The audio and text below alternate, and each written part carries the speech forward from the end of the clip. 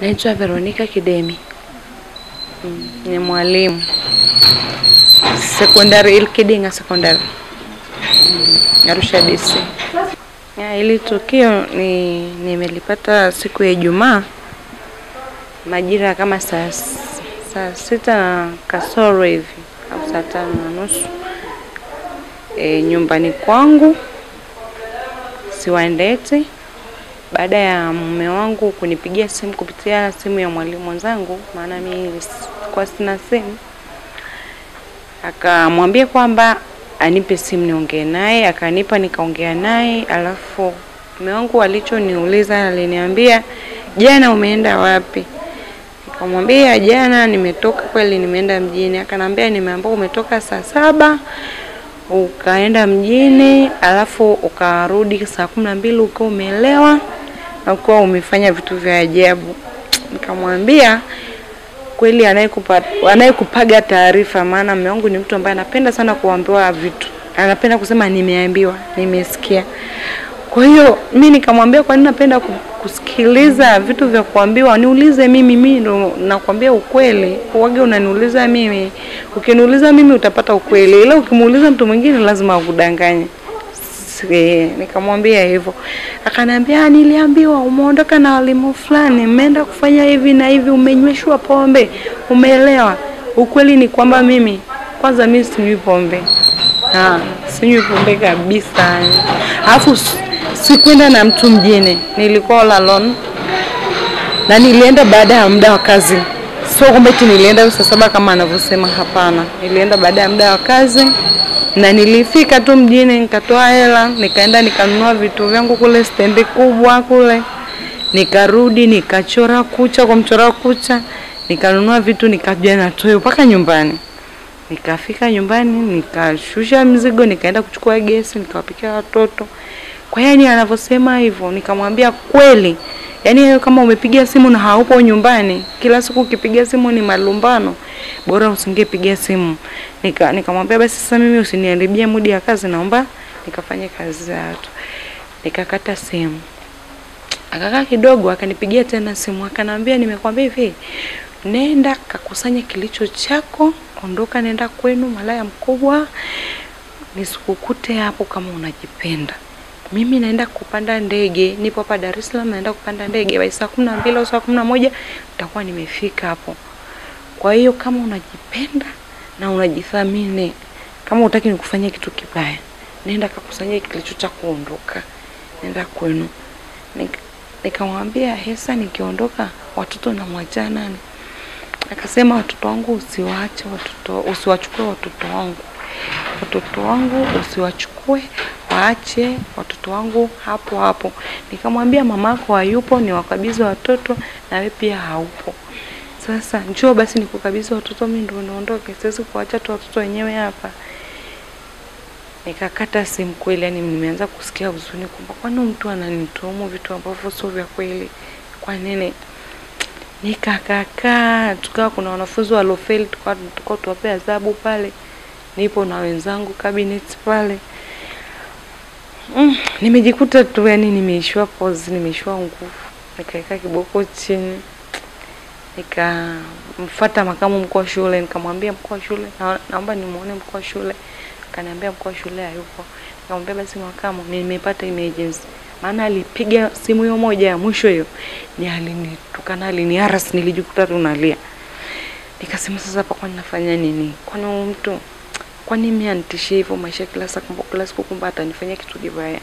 Ngoja hata niende nikakate kweli arabi, maana ni mtu ambaye anakujaga nyumbani bila taarifa, muda na wakati wote anakuja nyumbani bila taarifa yoyote. Kwa hiyo nikaogopa kweli, nikasema yamkini mtu naweza nikaa nampuzia, lakini huyu leo aliniambia kwamba ondoka, nenda kwenu, hajawahi kuniambia ile neno la ondoka eti hajawahi kuniambia eti ondoka. Yani anaweza akanifanyia vitu vya ajabu, lakini akiona dalili kwamba mimi nataka niondoke, atanichunga mpaka basi yani halali usiku, kama kipindi ambapo alikatakata hata simu yangu, yani usiku hajalala. Ani akisikia tu blanketi hivi nasogeza blanketi, maana nilishaga toroka saa tisa za usiku na watoto. Simu inaona gani? Samsung eh, ni smartphone mm. Ali sasa yani ni anaogopa kweli, sio mtu ambaye anaweza akakwambia ondoka. Mimi nawaambiaga wanawake wenzangu, yani mimi mume wangu ni mkorofi, anaweza akakufanyia vitu vya ajabu, lakini hakwambia ondoka, hajawahi. Yani kwanza yani hawezi, kwani mpaka aliniambia siku ondoka, fungasha. Yani niliona kitu cha ajabu, nikasema eh, nikamwambia mpaka leo umeniambia? Kweli, leo upo serious. Kweli nikaamka nikasema ngoja hata nikakate arabi nikachukue kadi yangu hii ya taifa alafu nikachukue na nauli nipitie nishuke maana shuleni kwangu niko kwa kwa upande wa juu alafu kwangu niko upande wa chini kwa hiyo nilikuwa nipitie nyumbani. E, nichukue. He mi sikujua kwamba mtu yupo nyumbani. Mtu ananiambia yupo Dar es Salaam kumbe tayari yupo nyumbani. Na nilipoondoka asubuhi hayupo. All over the sudden nafika nyumbani hivi. Yaani nafika tu hivi. Sijui kama mtu yupo. Boma limetulia hamna hata mtu msichana wangu wa kazi na mtoto wako ndani wametulia kimya. Amna hamna cha redio hata nisikie redio. Boma lipo kimya. Si nilipigwa hata na butua nikasema nikamsikia saa Darema anaongea tu na mtoto ndani. Nikasema "Ah, sasa mimi ni, nikaendelea kwenda sijapata hata kwanza kwamba niseme mtu yupo na wakati najua yupo da. Nimeshtukia tu yani ile ghafla mtu anatoka kwa spidi ya ajabu jikoni ameshika panga akanikimbilia akaanza kunishambulia. Ananishambulia kwa kunikata yani mapanga kabisa direct ananyoshea kichwani yani yani ana eh, eh, paka nikaona kifuichi hapa liwake Mungu. Yani nikaona kabisa ni hapa anakufa. Nina kazi ya kukinga ndio maana akanikata mkono. Hapa nina chuma kwenye mkono kushoto. Nika nikaa na kinga yani kwa mikono hivi. Hivi unaelewa nikaa nikaa napiga ukunga yani yani ni Mungu tu. Sasa shemeji yangu ambaye naye alikuwa anaenda shift ya kazi alikuwa bado hajatoka ndo nikapiga yani ukunga akakimbia nimepiga ukunga mbili tu. Ameanza kunikatakata. Amenikata hapa hapa karibia shingoni hivi. Amenikata amenikata hapa hivi kiunoni amenikata hapa hivi. Ili mtu anakukata kama anafyeka majani unaelewa eh? Hmm, yaani siku ndo niliona kifo kabisa hichi hapa. Sasa nikafanya hivi nikakinga na mkono ndo akakata mara moja tu, anakata shingo. Sasa. Nikakinga tu hivi hivi, alivyokata mkono kule, mi kwanza hey, sikujua hata kama sina mkono yani, yani imetokea tu kwamba baadaye kakake alivyomshika akamshika akamgeukia akawa anataka amkimbize na mapanga, watu wengine wakaanza kuja akaanza kuwakimbiza, na mimi ndo nikapata upenyo nikaingia hapo chooni, nika nikawa nimekaa hivi naishiwa nguvu, kuangalia hivi naona damu zinamwagika tu, kuangalia sina mkono eti. Natoka nje na wakuta watu wamejaajaa. Sasa ndo nikawa natoka na mimi nje pale, anasema nini nini nini, nikaangalia nikasema, jamani, mkono wangu mbona ule pale, mkono wangu. Watu ndo wakaangua kiluka upya, watu wakaanza kulia upya, yani nikasema nikasema, jamani, nifungeni mkono wangu. Nikafungiwa mkono wangu hapo na, na shemeji yangu ule dak- muuguzi naye akanifungia hapo, lakini tayari iko chini kwa hiyo yani sio kwamba ina connection kabisa. Ah, Akanifungia tu nikamwambia naomba tu niende naye naweza ikaunga. Haya nikaja tukaja na huo mkono tukapita polisi tukakata pe- eh, sijui ndo PF3 ile nikaja sasa hospitali ndo maana niko paka leo hapa. Ila ndo mkono umeshindikana kuungwa kabisa kwa sababu ilishapoa ilishapoa. Eh kwao ndo hivyo. Sina mkono hapa mkono mwingine hapa na chuma. Eh. Ah, asante nashukuru. Kweli namshukuru Mungu napata huduma kweli nahudumiwa sana. Wanakuja watu tofauti tofauti kutoka serikalini kazini kwangu halmashauri wananitia moyo. Kweli naona kwamba wananipambania kiukweli kwa sababu mimi ni yatima. Mume wangu amenitesa sana kwa sababu ya hilo. Ah, familia kwetu tupo saba. Ni mimi peke yangu nilifanikiwa kusoma na kupata kazi. Dada zangu mimi ni wanne. Dada zangu wengine walimaliza tu darasa la saba wakaolewa. Kwao ni mimi peke yangu ndo wadogo zangu walikuwa wananitegemea mimi. Dada zangu wengine ambao wana maisha magumu. Ni mtu pia ambaye ni alikuwa hataki niwasaidie ndugu zangu. Hataki hata niongee na ndugu zangu. Hataki niongee na babangu yule wa kambo. Yaani akikuta tu nimeongea na ndugu zangu ananiambia mna vikao gani vya siri na ndugu zako.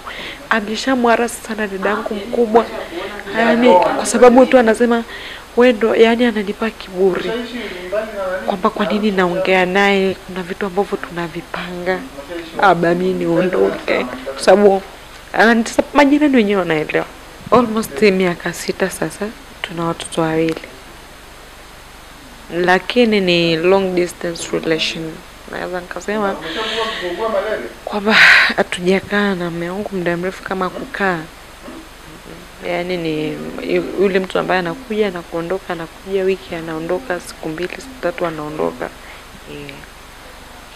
Kwa hiyo ndio hivyo. Mimi nilikuwa tu naomba serikali wanisaidie watoto wangu kwanza, maana watoto wangu hapa walipo, nilishaondokaga kwa ule mwanaume, nikaondoka na mtoto anayenyonya, akaja akaninyang'anya mtoto, akaninyang'anya mtoto kutoka nyumbani kwetu kabisa nikaendelea kukaa tu nyumbani. Baba akawa amekataa, akasema hapana, maana alishaga nipige, nikaenda nyumbani. Kwa hiyo nilivyoenda tena nyumbani ilikuwa ni mara ya pili, E, kwa manyanyaso tu, anani haras nikitoka hata niende mali yani hata yani kwenda tu kwa jirani ni shida. Yani ni ule mtu ambaye apige simu kila saa, uko wapi? Nipo barabara. Unafanya nini barabarani? Naona tu sijui na nini, anakuarasi muda wote, anataka muda wote upo nyumbani. Huko wapi? Nipe niongee na mtoto. Yani ndo hakikisha kama upo nyumbani. Kinyume na hapo, mtu hayupo, yupo da, hataki hata uende sokoni kununua chochote. Ana kazi ya kuambia, watu, akuwauliza ndugu zake, yuko wapi, ametoka saa ngapi, nikirudi tu nimeambiwa. Ni, ananiambia nimeambiwa, nimeambiwa. Ana kazi ya kuhoji msichana anamo, anamoji yani mfanya yani kila kitu yani ni kuhoji yani unajua yule mtu hakuulizi wewe kitu anataka kusikia kutoka kwa watu wengine alafu anakuwa yuko serious mnagombania kitu ambacho sio cha kweli. Hivyo. Hadi kazini hadi walimu wanaogopa hata kunisalimia yani mtu akitaka kumsalimia ananiambia hapana dadangu, naomba tu. Yani yani yani mtu ukiwa yani hai sijui yani hataki hataki kabisa kwa hiyo ah, kwa kweli nimepitia changamoto nyingi sana, mpaka watu walikuwa wananiambia wewe ni shujaa, mpaka ndugu zake wenyewe, ndugu zake kabisa wa kuzaliwa wananiambia wewe ni shujaa. Kuna siku karibia wapigane na ndugu zake wote, kisa tu anataka kunipiga muda ambapo naenda kazi. E, nafanya kazi TANESCO DCC mm, Dar es Salaam. Okay. Tofauti na watoto wenu wakoje kwenye umri labda mpona? Ah, watoto wangu ni wa kiume, mmoja na miaka mitano, mwingine miaka miwili. Na ule wa miaka mitano aliungua kipindi tu nilivyomwacha, aliungua mwanangu, alienda akaepoa uji jikoni kwenye gesi kubwa hivi juu, akajimwagia. Kwa hiyo kipindi hicho ndo kanisa wakaja wakanichukua nyumbani, nikarudi kumwangalia mtoto. Mtoto alikuwa amejeruhika sana na moto. Yani mimi natamani tu hata watoto wangu nikae karibu nao, kwa sababu aliniambia ukiwachukua watoto wangu nakuja na kuangamiza wewe na ukoo wako. Ni mtu mmoja ambaye ana over confidence sana, yani ni mtu ambaye haogopi, kwa sababu sio kushauriwa tu, alishashauriwa sana, yani vikao vimekaa sana, baba yake amehangaika sana, mama yake ameongea naye sana, yani sio kwamba ni mtu ambaye unasema ni kitu ambacho cha ghafla. Hapana, ni mtu tu ambaye ni mnyanyasaji. Na mmefunga ndoa? Tumefunga ndoa kabisa tarehe kumi na nne mwezi wa pili mwezi wa pili elfu mbili na kumi na tano Ila funga ndoa ya kanisani kabisa, harusi Tu- tulikuwa tu tuko vizuri. Amebadilika baada ya kuwa anaenda mbali yani. Eh, kwa kweli yani naombeni tu yani mnisaidie kwa kweli nipate mkono sababu hapa sasa nitaenda nafundisha mimi nafundisha form 3 na form 4 somo la literature in English ni somo jipya tu ambao nilianzisha shuleni kwangu form 4 mwaka jana ndo wa kwanza kufanya huo nani mtihani wa hilo somo. Kwa hiyo yani watoto walikuwa wananitegemea sana, nilikuwa mwenyewe mwalimu pekee niliokuwa nafundisha hilo somo form 3 na form 4. Kwa hiyo yani kiukweli watoto wangu watakuwa wamenimisi sana jamani, Mi mwenyewe nimewamisi watoto wangu sana kazini. Kwa hiyo naombeni kwa kweli, kama mnaweza mkanisaidia tu niweze kwenda kuwafundisha watoto wangu, yani kweli yani walimu mimi upo kwenye damu, napenda kutoka moyoni na napenda watoto wangu wenyewe wanaelewa, hata mkiwauliza tu yani yani kweli kabisa, yani hapa ndipo naumia, yani naumia sana.